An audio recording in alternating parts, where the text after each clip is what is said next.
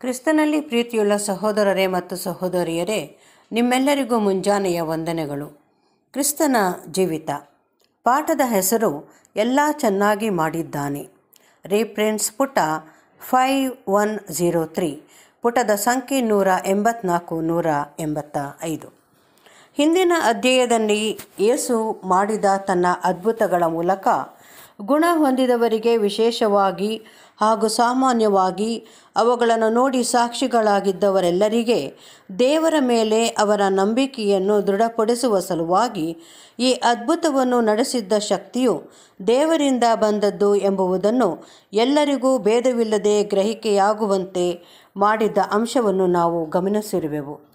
ನಮ್ಮ ಇಂದಿನ ಪಾಠವು ಈ ಸಂಬಂಧದಲ್ಲಿ ಒಂದು ವಿಶೇಷ ನಿದರ್ಶನವನ್ನು ನೀಡುವುದು. ಮೂಕನಾಗಿದ್ದು ಮಾತನಾಡಲು ತೊದಲುತ್ತಿದ್ದ ಒಬ್ಬ ವ್ಯಕ್ತಿಯನ್ನು ಗುಣಪಡಿಸಿಕೊಳ್ಳಲು ರಕ್ಷಕನ ಬಳಿಗೆ ಕರಕೊಂಡು ಬಂದಿದ್ದರು. ಆತನ ಮೇಲೆ ಕೈಯಿಡಬೇಕೆಂದು ಅವರು ಬೇಡಿಕೊಂಡಿದ್ದರು. ಹೀಗೆ ನಡೆಸಲಾಗುತ್ತಿದ್ದ ಅದ್ಭುತಗಳಲ್ಲಿ ಹೆಚ್ಚಾದವುಗಳನ್ನು ಕೈಯಿಡುವ ಮೂಲಕವಾಗಿ ಮಾಡಲಾಗುತ್ತಿತ್ತೆಂಬುದು ಸ್ಪಷ್ಟವಾಗಿ ಕಾಣಬರುತ್ತಾದರೂ, ಕೆಲವರು ಆತನನ್ನು ಮುಟ್ಟುವುದರ ಮೂಲಕ, ಇಲ್ಲವೇ ಆತನ ಉಡುಪನ್ನು ಮುಟ್ಟುವುದರ ಮೂಲಕ ಗುಣ ಹೊಂದುತ್ತಿದ್ದನೆ ಎಂ, ಗುಣ ಹೊಂದುತ್ತಿದ್ದರೆಂಬ ಉಲ್ಲೇಖಗಳು ಸಹ ಇರುವವು. ಎರಡನೆಯದಾಗಿ ಹೇಳಿರುವ ಸಂಗತಿಗಳಲ್ಲಿ, ಗುಣವಾದ ವ್ಯಕ್ತಿಯು ನಂಬಿಕೆಯನ್ನು ಪ್ರಯೋ ಪ್ರಯೋಗಿಸಿದ್ದನೆಂಬುದು ಸ್ಪಷ್ಟವಾಗಿತ್ತು. ಇಲ್ಲವಾದಲ್ಲಿ ಅವನು ಗುಣವಾಗುವ ಅಪೇಕ್ಷೆಯಿಂದ ಉಡುಪನ್ನು ಮುಟ್ಟುತ್ತಿರಲಿಲ್ಲ.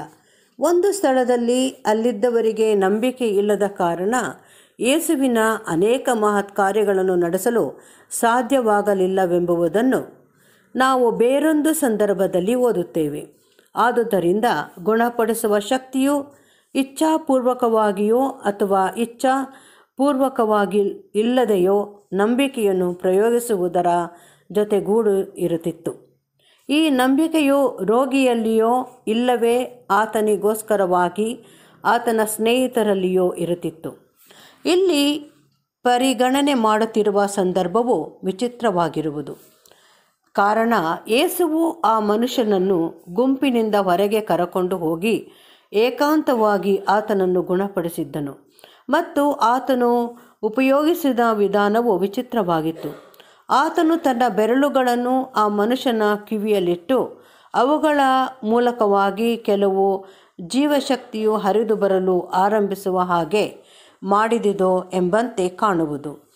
ಅನಂತರ ಆತನು ಉಗುಳಿ ಆ ಮನುಷ್ಯನ ನಾಲಿಗೆಯನ್ನು ಮುಟ್ಟಿದ್ದನು ನಮ್ಮ ಕರ್ತನ ಶಕ್ತಿಯು ಈ ವಿಧಾನಗಳಿಗೆ ಸೀಮಿತವಾಗಿತ್ತೆಂದು ನಾವು ಕಲ್ಪಿಸಿಕೊಳ್ಳಲಾಗದು. ಇನ್ನೊಂದು ಸಂದರ್ಭದಲ್ಲಿ ಆತನು ಬೇರೊಂದು ವಿಧಾನವನ್ನು ಬಳಸಿದ್ದನು. ಆ ಮನುಷ್ಯನ ಗಮನವನ್ನು ಸೆಳೆದು ಹಾಗೂ ನಂಬಿಕೆಯನ್ನು ಪ್ರಯೋಗಿಸಲು ಆತನಿಗೆ ಸಹಾಯ ಮಾಡುವ ಸಲುವಾಗಿ ಈ ವಿಧಾನಗಳನ್ನು ಬಳಸಿಕೊಳ್ಳುತ್ತಿದ್ದನೆಂದು ಇಲ್ಲಿ ಅರ್ಥ ಮಾಡಿಕೊಳ್ಳುವುದು ಉತ್ತಮವಾದದ್ದು. ಆ ಮನುಷ್ಯನಿಗೆ ಕೇಳಿಸಿಕೊಳ್ಳಲು ಸಾಧ್ಯವಾಗದಿದ್ದರಿಂದ ಆತನಿಗೆ ಏನಾದರೂ ಹೇಳುವುದರಿಂದ ಪರಿಸ್ಥಿತಿಯನ್ನು ವಿವರಿಸಲು ಸಾಧ್ಯವಿರುತ್ತಿರಲಿಲ್ಲ. ಉಗುಳುವುದನ್ನು ನೋಡಲು ಆತನಿಗೆ ಸಾಧ್ಯವಿತ್ತು. ಮುಟ್ಟಿದ ಅನುಭವ ಹೊಂದಲು ಆತನಿಗೆ ಸಾಧ್ಯವಿತ್ತು. ಹೀಗೆ ಅಲ್ಲಿ ನಡೆಯುತ್ತಿರುವುದನ್ನು ಅರ್ಥ ಮಾಡಿಕೊಳ್ಳಲು ಆತನಿಗೆ ಸಾಧ್ಯವಾಗಿತ್ತು. ಮತ್ತು ಇದರ ಅನುಸಾರವಾಗಿ ತನಗೆ ಗುಣವಾದುದನ್ನು ತಿಳಿದುಕೊಳ್ಳಲು ಸಾಧ್ಯವಾಗಿತ್ತು. ಈ ವಿಧಾನಗಳು ಆತನ ಮನಸ್ಸು ಒಪ್ಪುವಂತೆ ಇಲ್ಲವೇ ಕೆಲವು ಮಟ್ಟದಲ್ಲಿ ನಂಬಿಕೆಯನ್ನು ಪ್ರಯೋಗಿಸುವಂತೆ ಮಾಡಿದ್ದವು. ಇದರ ಜೊತೆಯಲ್ಲಿ ಈ ಪಾಠಗಳನ್ನು ನೀಡಿದ ನಂತರ ಆ ಮನುಷ್ಯನ ಆ ಮನುಷ್ಯನ ಇನ್ನೂ ಆತನನ್ನು ನೋಡುತ್ತಿರುವಲ್ಲಿ ಏಸುವು ಆಕಾಶದ ಕಡೆಗೆ ನೋಡಿದ್ದನು. ಹೀಗೆ ಆ ರೋಗಿಯು ಈ ವಿಷಯದಲ್ಲಿ ಮೂರನೇ ಪಾಠವನ್ನು ಪಡೆದುಕೊಂಡಿದ್ದನು.